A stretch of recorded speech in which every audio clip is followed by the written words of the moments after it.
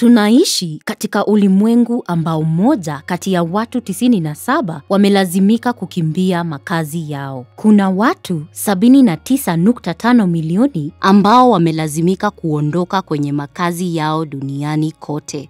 Takwimu hii ni pamoja na karibu milioni 40 watu waliokimbia makazi yao na wakimbizi milioni 26 ambayo ni asilimia tatu tu ya upatikanaji wa elimu ya juu.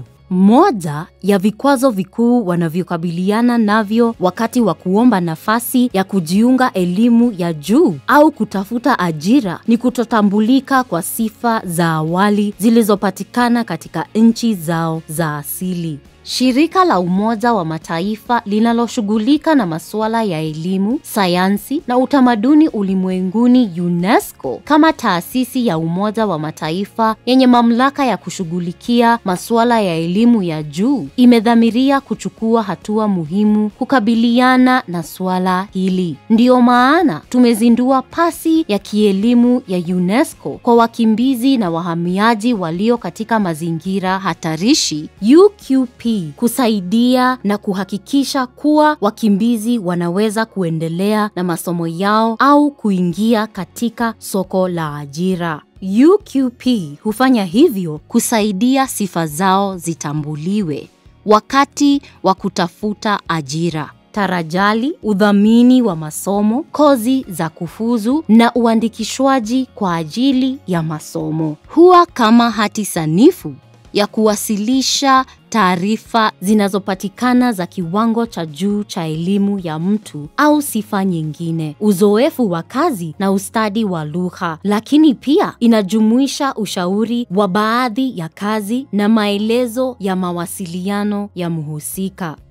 Waombaji wanaweza kuipata baada ya kupitia mchakato ikiwa ni pamoja na maswali ya ripoti binafsi na mahojiano na wafanya tathmini wa vyeti ili kuthibitisha kiwango cha sifa.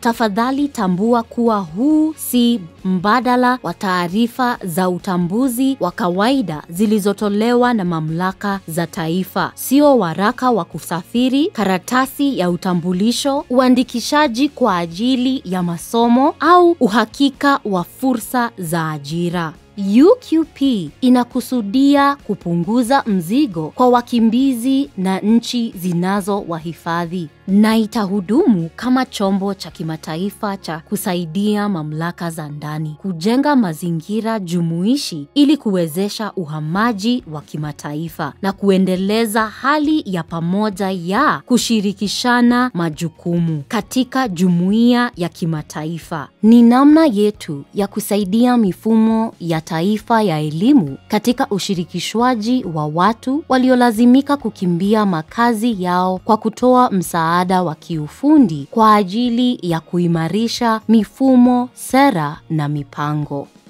Ni nani anaweza kuomba pasi ya sifa za UNESCO?